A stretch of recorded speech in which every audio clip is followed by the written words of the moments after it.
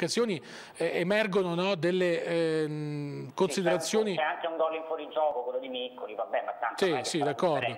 Però come sai il Palermo insomma, ha fatto il bello e il cattivo tempo nell'area della Lazio e a me mh, particolarmente ha stupito questo atteggiamento di un, di un leader l'anno scorso della difesa che è Diaz. Che cosa è successo al brasiliano? No, Diaz, guarda, te lo spiego subito, Diaz lo conosco bene, Diaz sta male ancora, Diaz si era appena ripreso da un infortunio e si vede che non è sicuro, tra l'altro sbattuto a destra sulla fascia, che cosa poteva fare? Poi quando Diaz non, non si sente bene, arriva in ritardo negli interventi eccetera, eh, diventa anche nervoso, questo è il suo carattere. Quindi su Diaz possiamo dare chiaramente un voto negativo, ma eh, sappiamo che cos'ha. Il problema mh, probabilmente, se proprio dobbiamo fare un'analisi un po' più tecnica, è che portando eh, come fece già contro il Cesena in una situazione disperata, diciamo, no? ricorderai la rimonta tre, eh, di tre gol poi sul 2-0 iniziale in 10 uomini, lui piazzò Ledesma eh, come centrale di difesa, mettendo una difesa a 3 per inferiorità numerica rispetto all'avversario. Sì, in effetti è vero, però...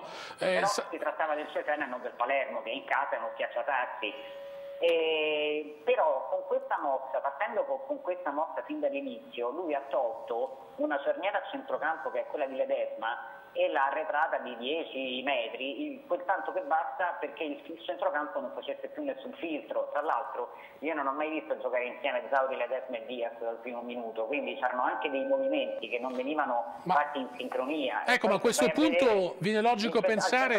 non c'era nessun interditore, quel poco che ha fatto l'ha fatto Gonzales sulla destra, ma Candreva non è un servitore, Matusalem meno di Adesma sicuramente e Lunic ancora meno, quindi insomma è chiaro che eh, potevano passare tutti i tiri anche da fuori. Insomma. Ecco Alessandro, ma alla luce di quello che tu stai precisando, non ti sembra che sia in totale confusione un allenatore assolutamente rispettabile no, auguro, nella sua auguro, esperienza, nel suo carisma, ma a questo punto auguro. manca la mentalità vincente che questa squadra dovrebbe no, no, avere? No, guarda, no, mi auguro che... Ehm, mi auguro che non vi siano delle spinte inconsce o consce, questo io non voglio fare adesso lo psicanalista da strapazzo, però insomma sai, magari l'allenatore si sentiva quest'anno di avere una squadra forte che comunque poteva essere ulteriormente aggiustata a gennaio, non gli sono arrivati i ricambi giusti, in più è falcidiata da infortuni in serie, soprattutto adesso in difesa perché stanno rientrando, sì, ieri abbiamo apprezzato il rientro di Mauri, ma in quella zona lui è coperto e quindi forse magari ha marcato un po' la mano su questa emergenza facendo vedere i limiti di questa squadra a cui non è stato dato nessun aiuto se non addirittura la sottrazione di Sisse e di Sculli in sede di mercato. Sì, eh, ecco perché parlavo di chiarire i rapporti tra società e tecnico che mi sembra in questo momento non siano idilliaci, ho anche visto alcune dichiarazioni in conferenza stampa eccetera, poi sai qui a Roma eh, voi siete fuori ma qui dentro il raccordo polare tu sai qual è la situazione, ci sei stato tanto tempo Giulio, sì, poi però... cominciano, eh, allora è colpa dell'allenatore, allora è colpa della società, allora si crea l'alibi per i calciatori, allora è colpa dei calciatori, cioè non se ne esce mai e si finisce per Però Alessandro, mesi. certo c'è un problema in più da ieri sera, cioè che questa Lazio eh, nel giro di pochi giorni innanzitutto ha mh, come dire, buttato via l'occasione eh, di arrivare fino in fondo ad una competizione alla quale certo. lo Tito, il presidente, ma direi in generale tutta la società teneva moltissimo. E come? Eh, da come era stato fatto il mercato? Ecco, ne avevamo parlato, infatti, ne avevamo parlato con te, cioè di un mercato fatto proprio per acquistare giocatori di esperienza come Sisse che comunque è andato via come Close per eh, giocarsi eh, delle carte importanti in, certo. in Europa League.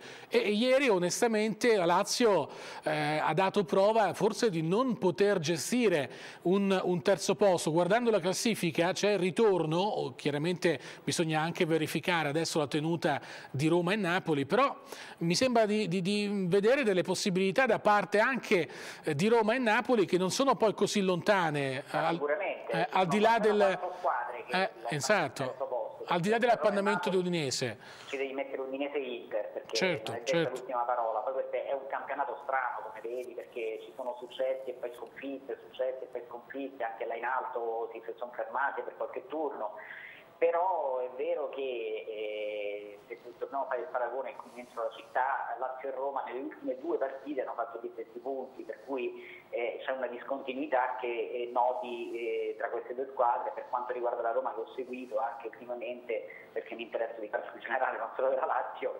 Eh, Però forse la Roma sta arrivando meglio a questo beh, derby? Se continuasse a giocare Giusta sensazione? Dove, dove pure non ha brillato, se, do, se, dovesse continuare a giocare come ieri, dove ripeto, dove pure non ha brillato e i tifosi sono stati in apprensione fino all'ultimo per un possibile pareggio del Parma che appariva comunque improbabile perché ha fatto poco, ci arriverebbe sicuramente meglio.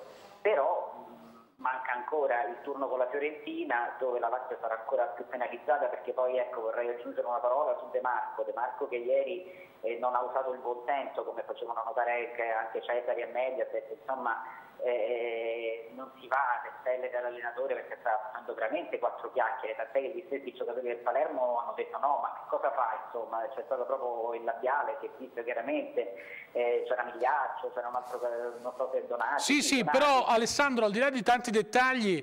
Anche sul... l'espulsione di Diaz, insomma, tutto molto... Sì, forse eccessiva perché... Sul 5-0, anche il sì, sul 5-0 in effetti certi cartellini rossi potrebbero essere evitati, non, solo, non era cattivo l'intervento di di, di Diaz. I del Palermo che si mettono a fare i giochetti sulla linea di Sì, sì, è vero, è vero. 5-0 è sì. Diciamo, Io ricordo, ricordo un Fiorentina-Roma 3-0 con la Roma in 9 eh, e Delio Rossi eh, in maniera molto sportiva, eh, certo. appena arrivato a Firenze, invitò i suoi giocatori comunque a non...